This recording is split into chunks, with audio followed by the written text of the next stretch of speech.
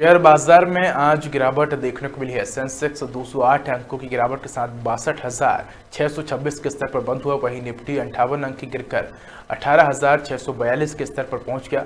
बाज़ार में लगातार तीसरे दिन ये गिरावट आई है। सेंसेक्स के 30 में से 16 शेयरों में गिरावट देखने को मिली, वहीं 14 शेयरों में तेज़ी रही। आज Adani Enterprises Hindustan, Unilever, Nestle, India और पावर ग्रिड समेत निफ्टी के 19 शेयरों में तेज़ी रही। वहीं BPCL, Tata steel UPL Infosys समेत निफ्टी के 30 शेयरों में गिरावट देखने को मिली। वहीं एक शेयर में कोई बदलाव नहीं हुआ।